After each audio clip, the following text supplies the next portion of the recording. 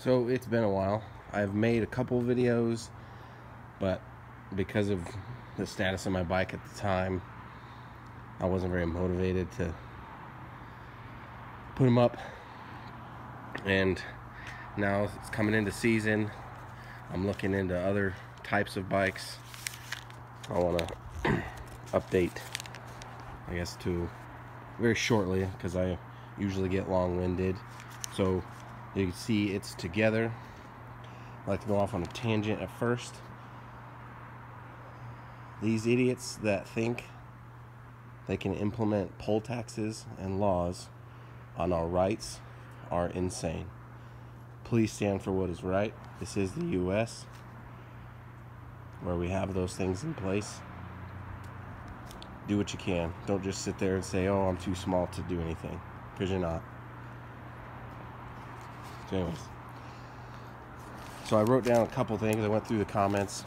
It wasn't very many because I figured a whole 50 people have watched my stuff, so I don't really know. But, uh, and I may have addressed this in another video, previous video. I apologize for that. But uh, I found parts for this because basically the only thing that's different from this to a 790 are some of the electronics, brakes, suspension, and the motor. Outside of that, the frame, subframe, tail section, it's basically all the same. Uh, so I, I, got it together uh, back when I wrecked it. Got it together. Had five, six hundred miles on it. And then fixed it. I rode it. Everything was fine. Hit about 2,600 miles. And then the tick, a ticking started getting a little bit louder. I rode it one day, that day, and by the end of the ride, I was like, that doesn't seem right. So the next day, we're gonna go out for another ride, and it was even louder. So I'm like, yeah, I'm not, I'm not riding this. So contacted the dealer, got a trailer, took it up there. They took the the top end of the motor off. I got sticker. Uh, the top end of the motor off. Basically, there was a chunk or chunks of, a, of the cam missing. So it was eating the cam. So everything was back ordered. It was all luckily still under warranty. They warranted it, but it did take, it was nine months they had it, uh, ordering the parts. So basically, the entire engine is new. New head, new cases, new pistons, rods, everything because of all the shavings and the scarring, scarring, scoring from all the pieces, you know, flying around in there and whatnot. But after that, I've since had zero issues with it, and I have like six, just under 7,000 miles on it now.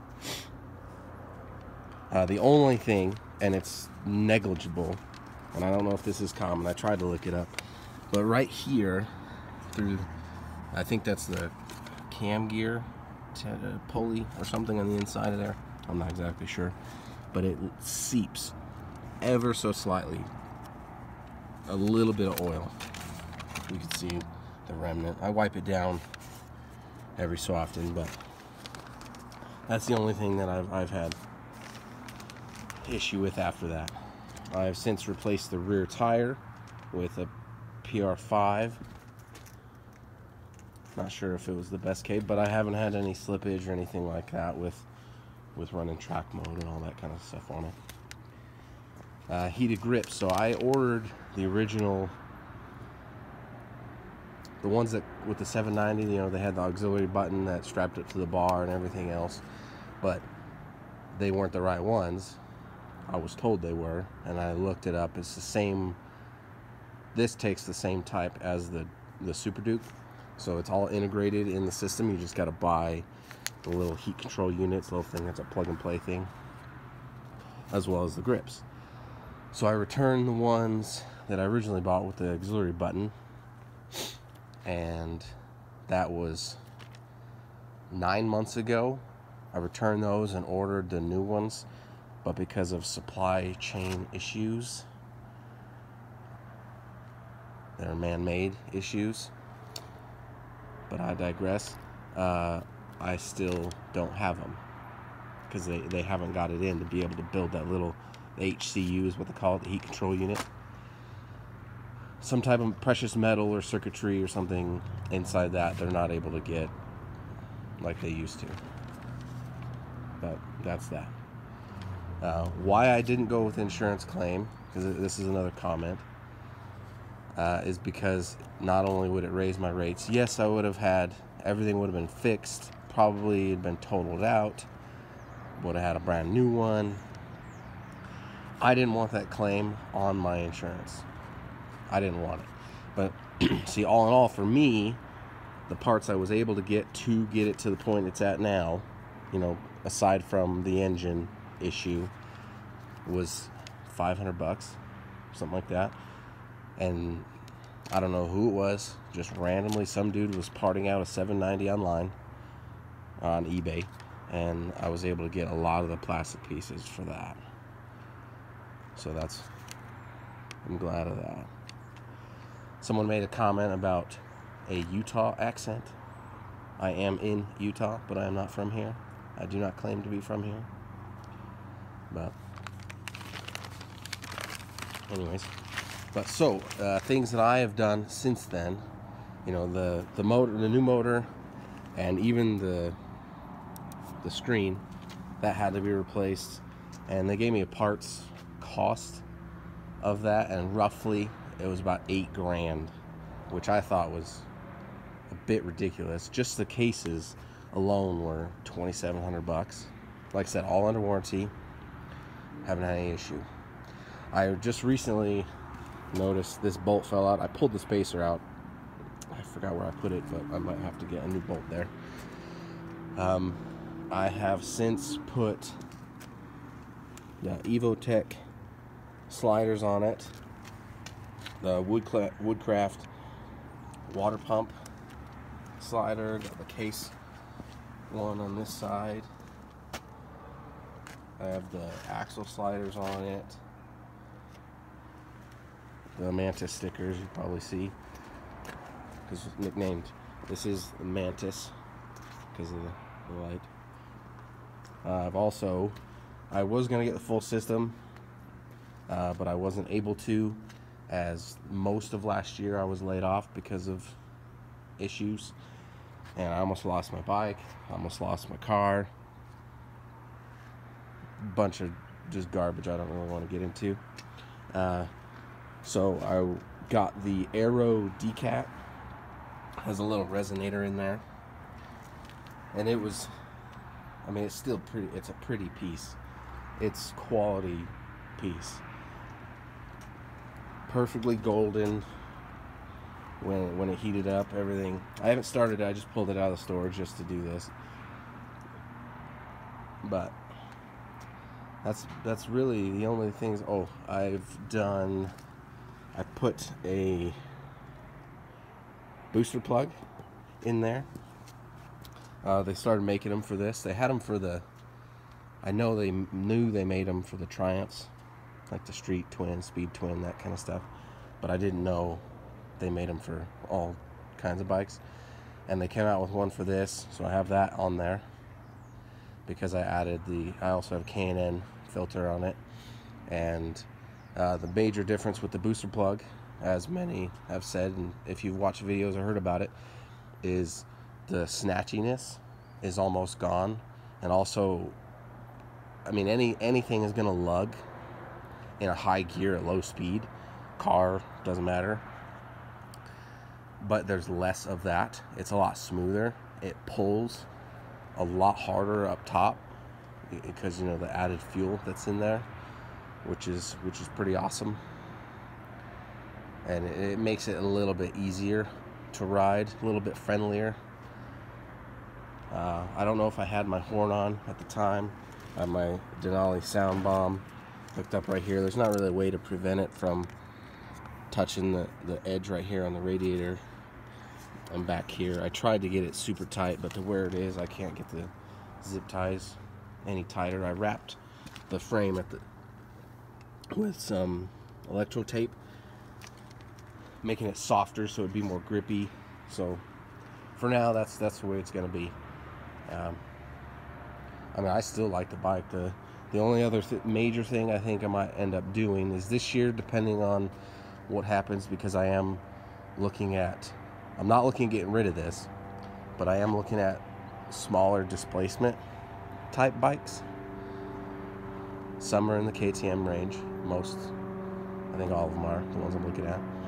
Uh, but I don't know. We'll, we'll see when we get there. Uh, later this year, I hopefully will be able to get the Arrow. I forgot what model. It's the bigger one, the Arrow NCAN. Um, it's not the Pro Race. I can't remember the model name of it, but that's what I plan on getting. Uh, a friend of mine in my riding group, uh, white lettered his tires or the the brand letters. I thought it looked pretty neat. So I did mine, despite though they're dirty and everything. It'll be they'll go away once I replace them. And uh, I I've looked into I've looked into going down or gearing it up slightly. I don't know if I haven't done enough research to really know what is better. But I'm either going to go down one or two teeth in the rear or up a tooth in the front. I haven't decided. Just I just want to mellow out the low end just ever so slightly. That's all I want. I don't need it any faster. I don't need it any quicker. Anything like that. It's plenty quick. Uh, I'll start it up in a minute with the stock can with the decat. One time, I was I was pulling out. Bike was warmed up. Tires weren't. It was probably 50-ish 55, 60 degrees, something like that outside. Uh, so I had it in track mode because it it remembered it, so it stayed in it. I didn't think nothing of it. I'm pulling out. There's no traffic to my left, no traffic to my right. It wasn't being aggressive, nothing like that. Nothing. Wasn't pulling out hard. Didn't lean into it. And I think it was just just the happenstance at the time. But it slid out from under me and that was before I put all these sliders on. Right after that happened, I put all the sliders on. So this, these are KTM branded uh, spools. So the threads only go in probably a quarter inch or so, three eighths of an inch, something like that. So when I hit, when I went down, as you can see the damage on the kickstand, there is a little bit of scrapage on the case, but it's behind there. There's no holes or anything and then uh, my bar end mirror it marred up and it broke the tip off my off my clutch lever outside of that didn't do anything but because the threads were so short or so shallow inside the swing arm it broke you can see that chunk missing it broke that and stripped out where the threads were luckily hardware store you can see the skinned it only slid a foot or two. Like I said, I wasn't going very fast. And I went to the hardware store, and they had the same bolts that were, I don't know what the, they were domed. Not domed. I don't know what the word is. Angled. Anyways, uh, and they were longer, same thread. That's why they're the dark ones versus the same color as uh, same uh, silver. So they sat in because there's there's threads almost all the way to the inside of the swing arm. So I had to do that because I wasn't able to use these. And now that I can, because it's in deep enough, there's no problem with the threading or using my bike stand or anything like that. So, yeah, I'm, I'm pretty stoked it only did that and I was able to find a simple solution. Uh, you can see decat, it's, it's, a, it's a nice piece. Everything's dirty. find that. But I got the low seat. I think that's been covered. Let's see any damage here still from the stock can from my original wreck. And I also do, because like I said, I, I didn't think many people would watch this because I don't have a following. I don't do very many. but I appreciate those that you know wished me okay. Uh, I still feel it. My manubrium is what fractured, but hopefully one day I'll get some some surgery done. They'll be able to to shave it down because it feels like it pushes it up against my throat at certain times, or if I'm laying on my side or something like that. So look at the miles here, and then I'll start it up.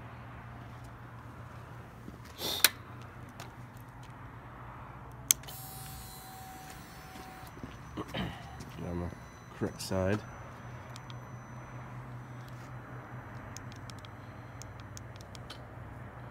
Odometer 6,700.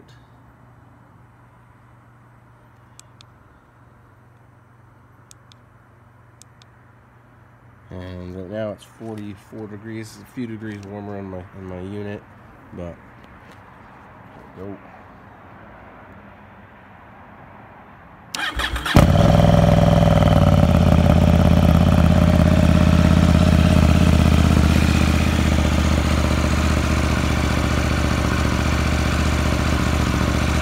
I'll let it warm up for just a minute before I'll give it a couple revs.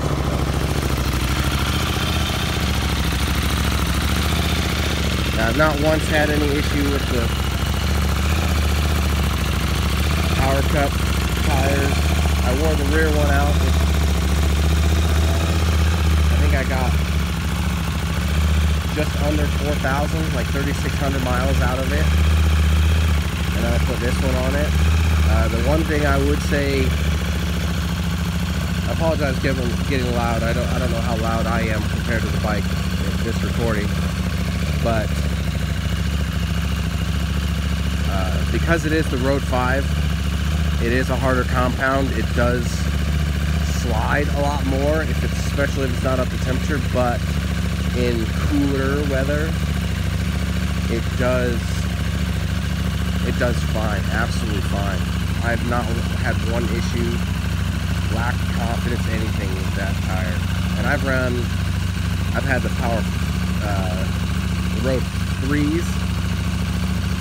I'm not sure on the road fours. I don't think I had those. I had the Scorpion GTs, or the, I'm sorry, the STs. Those are a good tire. I had good luck with those also. Uh, they, they are doing a special on them. I don't know if it's a special, but they are clearance priced on Amazon. I'm not really a fan of Amazon anymore, but it is easy to get a lot of stuff.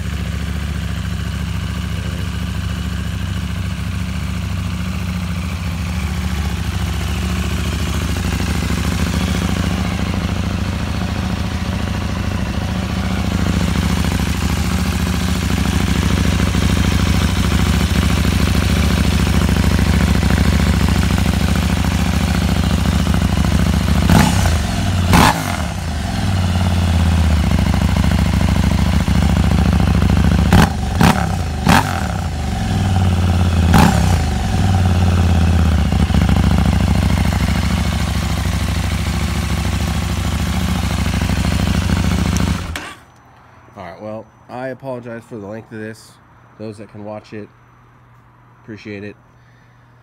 I, I meant this to only be like a seven or eight minute video. Like I said, I get long winded.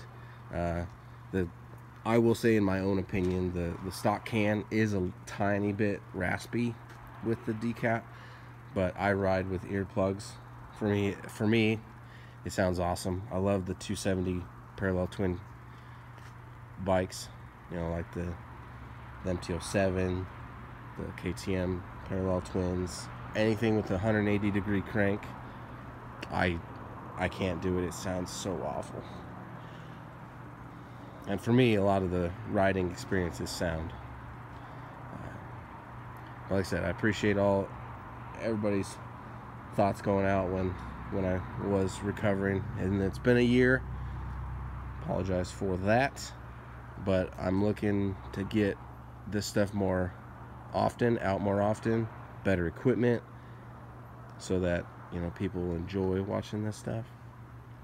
Because I don't know how much I enjoy just people just talking, looking at an item. You know, it's hard for me to do, but I appreciate your patience through that. And everyone have a good day and a better year than last year. Do what you can to make a difference. And we will all benefit from it. Have a good day.